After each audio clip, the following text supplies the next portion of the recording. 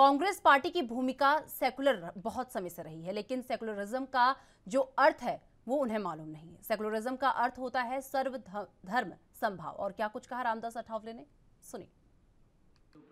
हाँ, माननीय अमित शाह जी ने जो भूमिका रखी है इसका हम समर्थन करते हैं। कांग्रेस पार्टी की भूमिका सेक्युलर सेक्युलर वो समझते हैं लेकिन सेकुलरिज्म का जो अर्थ है उसको मालूम नहीं है। सेकुलरिज्म का अर्थ होता है सर्वधर्म समभाव। सभी धर्मों का आदर करने का सेकुलरिज्म होता है। बाबा साहब अंबेडकर जी ने जो संविधान दिया है, उस संविधान में सभी जाति धर्म, सभी धर्मों को न्याय देने की भूमिका उसमें है।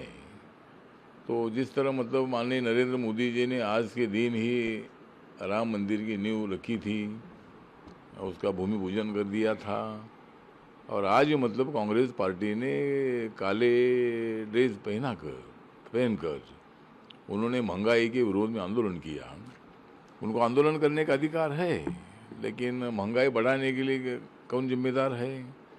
पचहत्तर सालों में से 60 टू 63 साल कांग्रेस सत्ता में रही और कांग्रेस पार्टी को मतलब महँगाई कम करने के लिए इतना मौका था, लेकिन उनके तरफ़ से महँगाई कम हुई नहीं।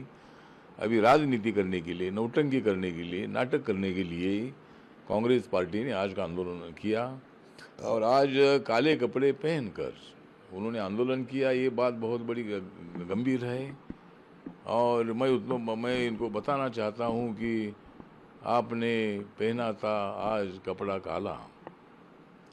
आपने कांग्रेस वालों ने पहना था आज कपड़ा काला।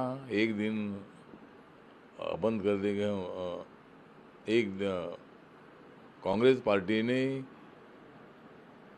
आज पहना था कपड़ा काला। एक दिन उनकी